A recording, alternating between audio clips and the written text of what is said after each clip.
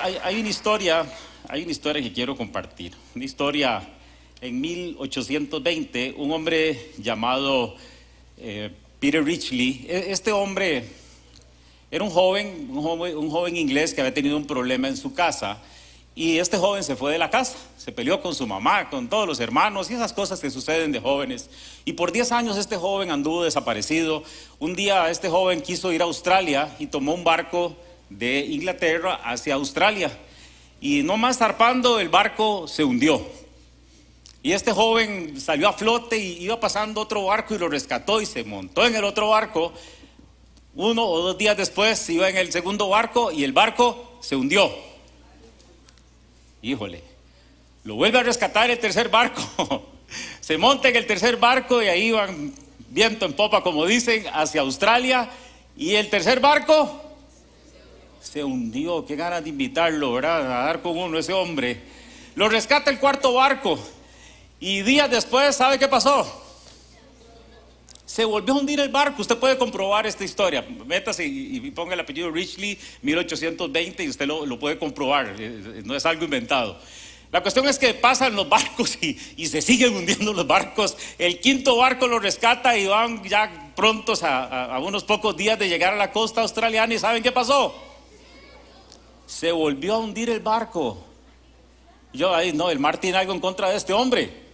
Definitivamente. Lo rescata un sexto barco, un barco que había zarpado de Inglaterra hacia Australia, llevaba la misma línea de navegación y el barco, el barco se llamaba la ciudad de Leeds, que era de donde él era. O sea, no, sabe una cosa, no hay casualidades en este mundo.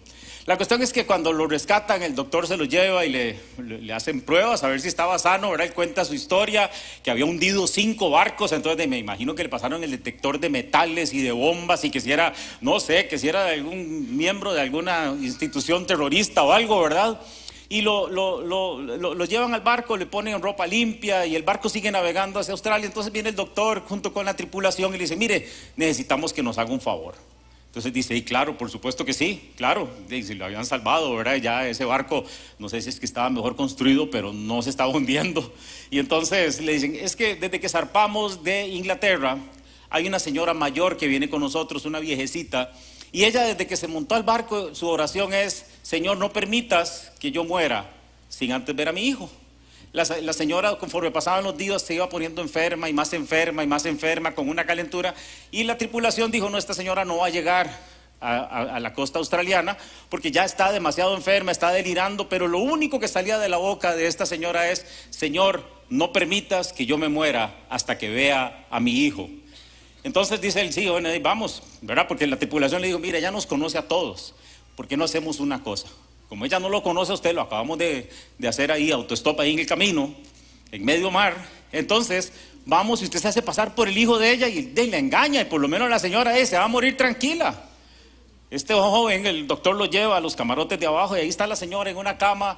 Me imagino el olor a medicina de ese cuarto, me imagino toda la, la situación tan oscura que estaba viviendo esta, esta señora, esta ancianita. Y cuando el hombre llega, se quebranta y comienza a llorar. Esta señora era Sarah Richley, era su mamá. Esta señora había estado orando por 10 años porque ella quería volverse a reencontrar con su hijo. En ese momento se juntaron, se pidieron perdón y ahí sigue la historia. Lo que le quiero decir, iglesia, es el poder que hay en una madre. Y eso es lo que quiero hablar, el poder que hay en una madre. Y le digo una cosa, cuando una madre ora, algo extraordinario sucede en los cielos.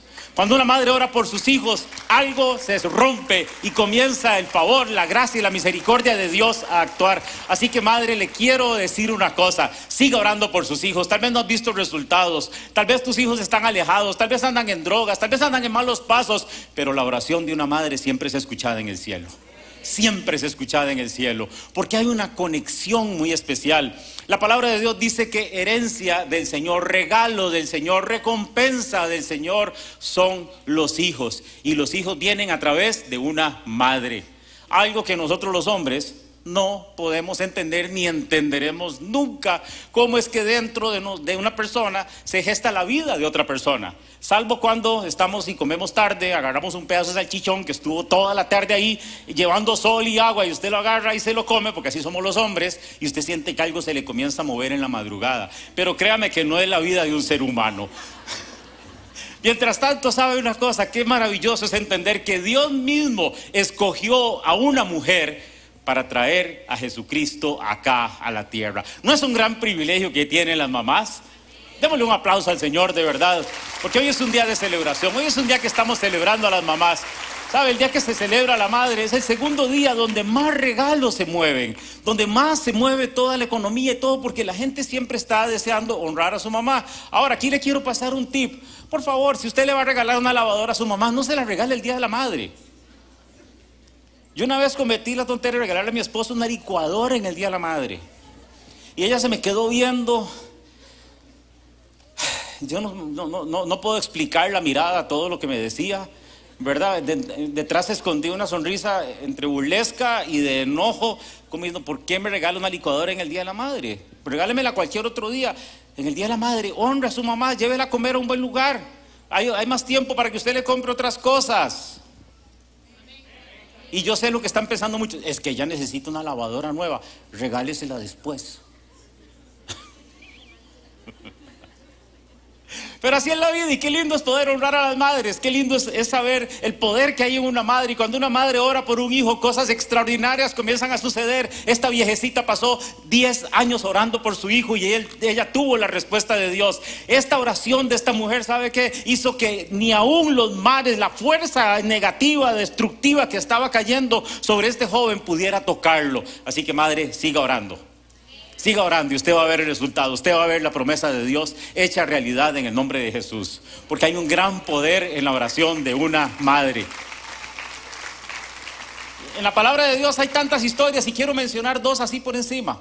En, Segunda de Reyes, en el capítulo 4, comenzando el versículo 1, está hablando acerca de una madre que tenía dos hijos y su esposo había fallecido, era una viuda era un profeta de la escuela de profetas. Este hombre eh, había dejado una gran cantidad de deudas y vinieron los acreedores a llevarse a sus hijos.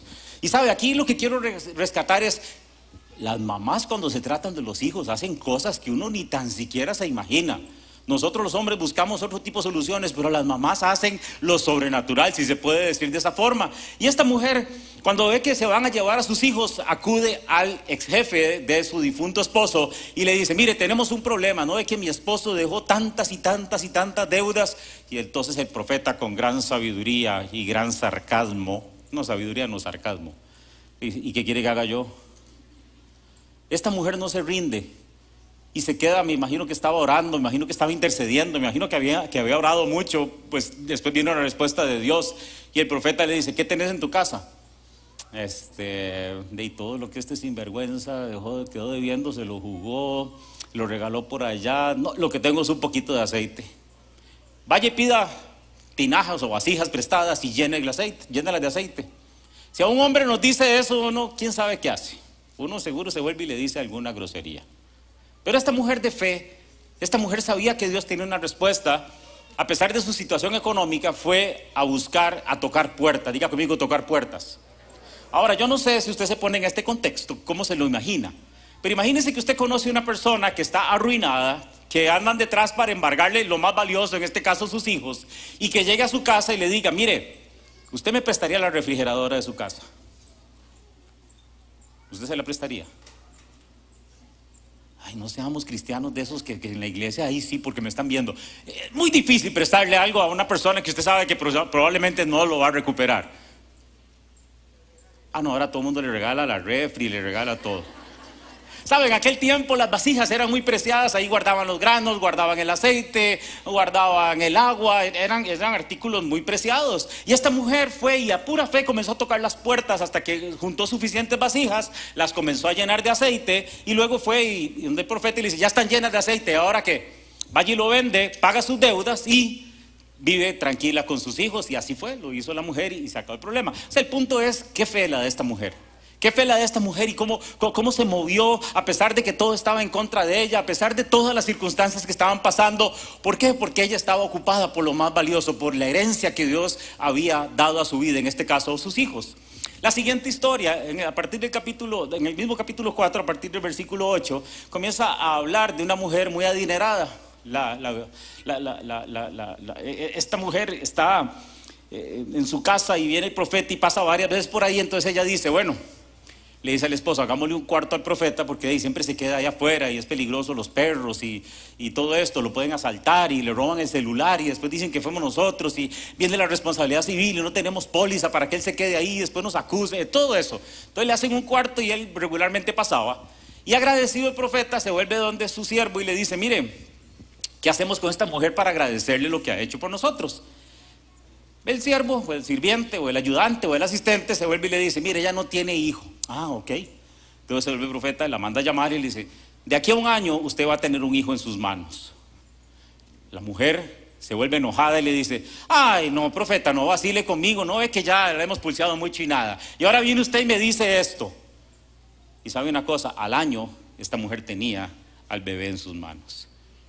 Y quiero decirle una cosa, haciendo un paréntesis en este momento. Yo sé que hay muchas madres que están pidiendo, perdón, muchas esposas, muchas mujeres que están pidiendo un hijo y tal vez tienen alguna situación. Y quiero decirle algo. Hoy yo destato esa palabra en el nombre de Jesús y hay fertilidad en tu vientre.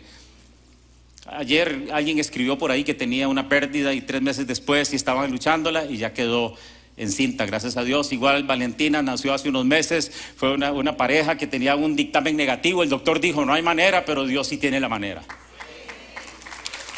Yo, sigo creyendo en esos milagros, los he visto mucho. Y como son un regalo de Dios, de verdad, todas aquellas que están orando en el nombre de Jesús, de aquí a un año usted va a tener su hijo. La historia sigue, el hijo crece, se hace grande, está con su papá trabajando. Y resulta que este señor, ¿verdad? Están ahí bajo el sol y, y, todo esto. Y el niño comienza a pegar gritos, mi cabeza, mi cabeza. El papá se vuelve como somos los hombres, ¿verdad? Y a veces no sabemos qué hacer, y especialmente cuando hay un hombre viendo un partido, ¿verdad? Se vuelve y dice, llévenlo con la mamá, llévenlo con la mamá. Porque sabe, hay algo especial en las mamás. Las mamás tienen algo. E, ellas saben, e, e, ellas vienen con, una programación diferente de fábrica que la de nosotros los hombres. Nosotros los hombres, por pura y gracia, cuando cuidamos los niños, es que de verdad no pasan cosas porque uno descuidado y se meten en el horno y lo encienden y, y agarran, y se meten debajo de la llave. Hacen cosas, ¿verdad? Porque los hombres somos así. Así somos los hombres, las mujeres no. Las mujeres son totalmente diferentes y tienen ese cuidado, tienen esa conexión y, todo esto. Y hace muchos años, eh, como a los ocho años, ya yo, yo no vivía con mi mamá, sino que fue mi abuela la que me terminó de, criar, ¿verdad? Y yo, me acuerdo que estaba jugando con un taladro. Y, un chiquito de nueve años con un taladro no es así como una buena combinación. Y recuerdo que hice así y me salió la broca por aquí. Entonces me voy donde mi abuelo, de ahí lógico, el hombre, el de las herramientas y todo. Le digo, ay, ¿qué lo que me pasó? Va, échese café, échese café. Yo no entendía, yo, ¿cómo me voy a tomar un café? Si me lo hubiera dicho ahora es diferente, pero ¿cómo voy a tomar un café? Y me voy donde mi abuela, y mi abuela así con toda la calma de una mamá, agarró el taladro, le dio para atrás, más aquí tengo la cicatriz. Y me lo sacó y agarró un líquido diabólico totalmente. Algunos de aquí no lo conocen y espero que no lo conozcan nunca, que se, que se llama Mertiolate. Ay, Dios mío, cuando esa señora me echó eso en el brazo, yo prefería el taladro, yo le decía, tráigame el taladro otra vez, por favor, porque era un dolor terrible. Pero al, al punto que voy es que las mamás tienen eso tan especial, los hombres no lo tenemos. Los hombres somos descuidados, las mamás saben cuando el niño está enfermo, las mamás saben cuando a un niño le pasa algo, porque tiene esa, esa conexión desde que el niño está en el vientre de una madre a través de la placenta, ella le transfiere tantas cosas y tantas cosas maravillosas. Eso es lo que hace Dios con una madre, por eso hoy estamos tan felices y tan contentos de celebrar a las madres. Démosle los aplausos a cada una de las mamás que están aquí, porque sabe, para mí son heroínas. Son heroínas porque pueden pasar la noche en vela y al día siguiente están con una sonrisa para con su hijo. A los hombres nos despiertan tal noche, día pasé, pasé toda la noche en vela. Es que ese chiquito no me dejó dormir.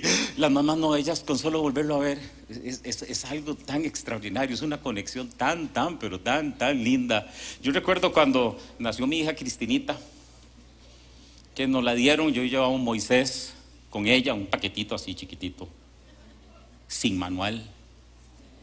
No había YouTube, no había Wikipedia, no había San Google, no había nada. ¿Y yo qué hago con esto? Mi esposa recién salida del hospital, vamos a la casa, ella se acuesta cansada y, toda la cuestión. Yo la pongo a Cristina de mi lado derecho y yo estaba cada rato viéndola, ¿verdad? Porque parecía que no respiraba. Entonces yo le tapaba la nariz a ver si respiraba y por supuesto se ponía a pegar gritos. Y la mamá, que la dejes en paz, que está respirando. Los hombres somos así, las mujeres no, ella tenía confianza, ella tenía esa conexión que a pesar de que estaba dormida sabía que ahí estaba la bebé. Cuando nace mi otra hija, Estefanía, estábamos en la clínica, en, la parte de, nacen los bebés, era un escándalo de bebés y, todos los bebés, ¡ah! todos lloraban y todos vienen, nacen demandantes y con hambre y, toda la cosa. Y ahí estaban todos los bebés llorando y un momento otro dice mamá, ay, oigo Estefanía. ¿Cómo oye Estefanía? Yo lo que es un montón de bebés, ahí, viene, me la van a traer. Y a los 30 segundos entró. Es esa conexión, esa conexión que hay entre las madres y los hijos tan extraordinaria. Y, es algo tan, tan maravilloso. Y yo le quiero decir, tal vez usted me, está, tal vez usted me, dice en este momento, pero pastor, este, usted no sabe la historia mía con mi mamá. Tal vez usted no sabe, mi mamá fue una mamá ausente, tal vez usted no sabe, mi mamá era, vivía en pecado, tal vez mi mamá era una persona eh, que trabajaba tanto que se olvidó de mí, tal vez nunca la conociste, pero tal vez fue una abuela, tal vez fue una tía, tal vez fue una persona que tomó el lugar de tu mamá, a quien tienes que honrar. Y también tienes que honrar la memoria de tu mamá aún cuando no la conoces, porque hoy si estás en este lugar es porque tuviste una mamá. Repito, hoy si estás en este lugar es porque tuviste una mamá, no naciste de un mono.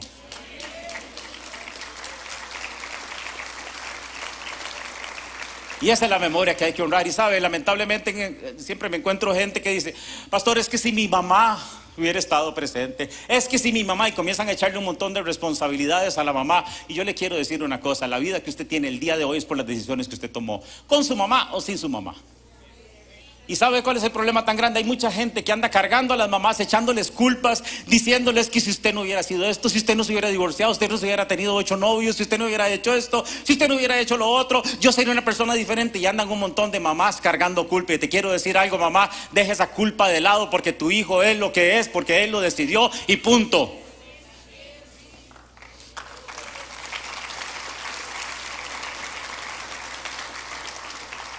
Pero lamentablemente así es. Muchos hijos andan de esa forma.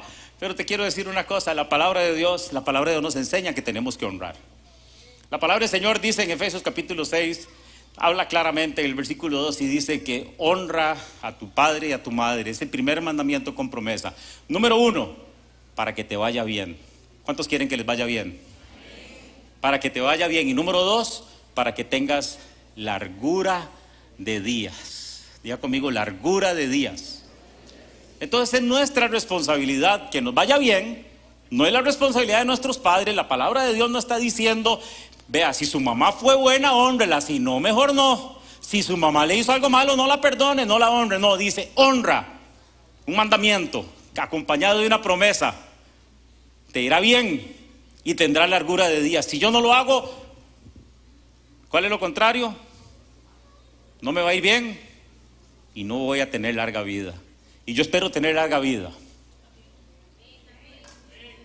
Para que me acompañe aquí cuando yo tenga 120 años. ¿Qué dice, Memito? Aquí vamos a estar. Largura de días y nos va a ir bien. Por eso tenemos que honrar. Eso es importante, la, honra. Y, y, de verdad que es algo que la palabra, la palabra del Señor nos enseña. Y sabe una cosa, muchas veces uno, se pone a pensar y, tal vez el testimonio de mi vida a los ocho años, mi mamá, por las diferentes razones que fueran, ya no estuvo más conmigo. Eh, yo fui, literalmente me, tiraron en la casa de mi abuela y, qué lindo, y le doy gracias a Dios. Y, dice la palabra de Dios en el, Salmo, en el Salmo 127, 10, que aunque padre y madre me abandonen, con todo me recogerá el Señor. Dios es mi madre, Dios es mi padre. Y, sabe una cosa, Él lo enseña a uno a amar. ¿Cuáles fueron las razones de mi mamá? No sé, pero la sigo honrando y la honro. Partió hace 20 resto de años de esta tierra y de verdad yo la honro y honro su memoria aquí en la tierra porque gracias a ella estoy aquí. Así que honre usted a su mamá. Deje de echarle culpa, deje de ver el lado malo. No sabemos el contexto, no sabemos por qué muchas veces toman las decisiones. Jocabet, por ejemplo, la mamá de Moisés, La mamá de Moisés tomó una canasta de pan, no era una canasta muy grande, y tomó aquel pequeño bebito, agarró la canasta, la llenó de brea y la tiró literalmente en el río Tárcoles lleno de lagartos, el río Nilo en este, en este caso. El río Nilo era un río donde estaban todos los lagartos, que unas criaturas adoradas por los egipcios. ¿Y quién se atreve? Y, póngase usted en este momento, en este contexto. A usted vienen y le cuentan, mire, le tengo que contar algo. Viera qué barbaridad lo que hizo Jocabet agarró al bebé en una canasta y lo echó en un río lleno de lagartos. ¿Qué jamás eso? ¿Qué, ¿Qué pensaría usted? ¿Cómo pudo haber hecho eso? ¡Qué barbaridad! Pero sabe una cosa, le estaba salvando la vida. Hay decisiones que no entendemos, no sabemos, pero muchas de ellas se basan en salvarle la vida a una persona por las diferentes razones y contextos. Más adelante a Moisés se lo devuelven a su verdadera mamá para que lo amamante, para que lo críe. Una vez que está grande, rosadito y todo hermoso, se lo vuelven a quitar. Y aún con su corazón destrozado, ella lo entregó porque sabía que era la única manera de que su hijo viviera. ¿Sabe una cosa? Muchas veces no sabemos qué hay detrás de la cortina. Y como no lo sabemos, no juzguemos. Y por eso es tan necesario que tenemos que honrar a la persona que nos trajo a este mundo, esté presente o no esté presente, esté ya en la tierra o no esté ya en la tierra.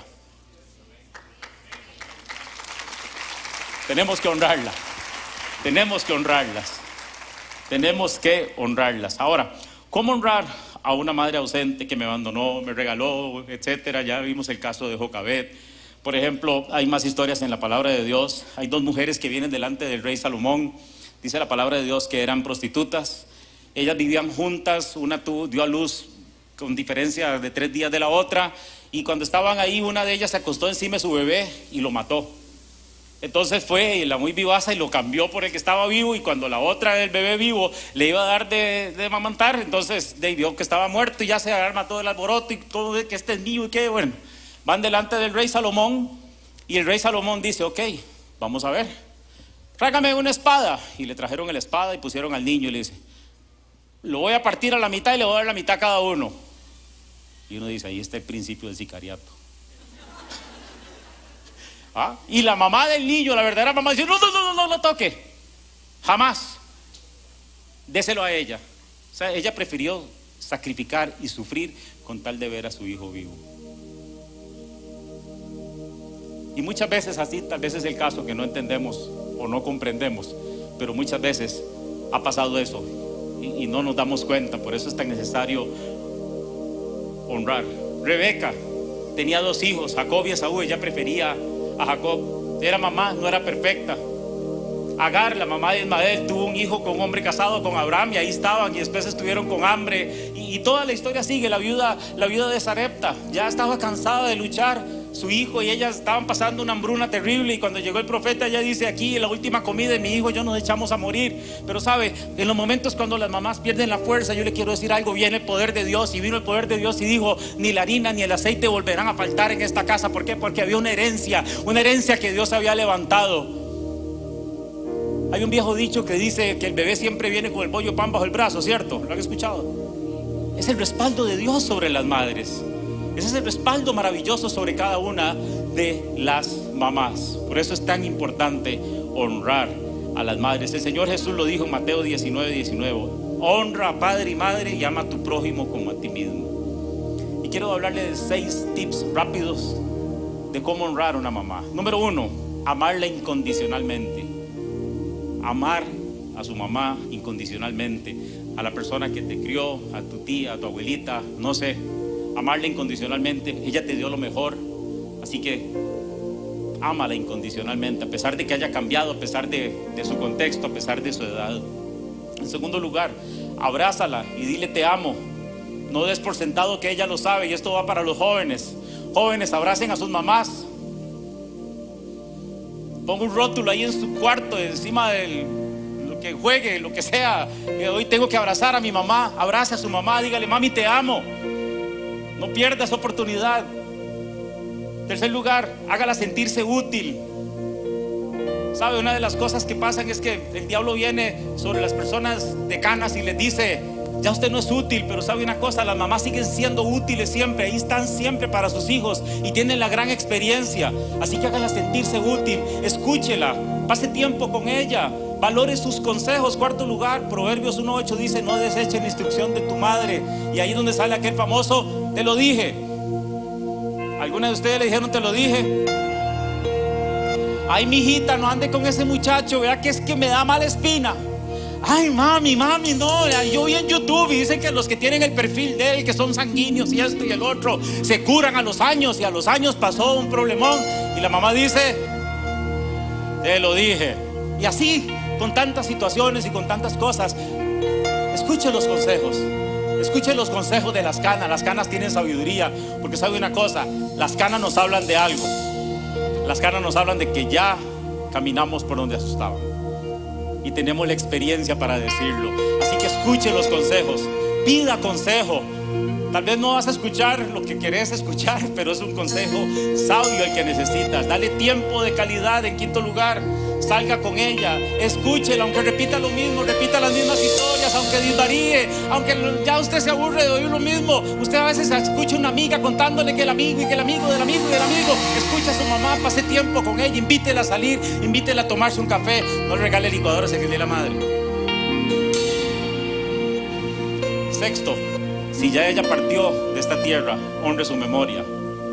Hable bien de ella, bendígala siempre bendiga su memoria y dele gracias a Dios porque gracias a ella, ¿sabe una cosa? Usted hoy está aquí en la tierra. Gracias a ella, usted hoy puede ver cosas extraordinarias y usted no sabe detrás del telón que es todo lo que se esconde y todo lo que pasó. Y yo quisiera orar por la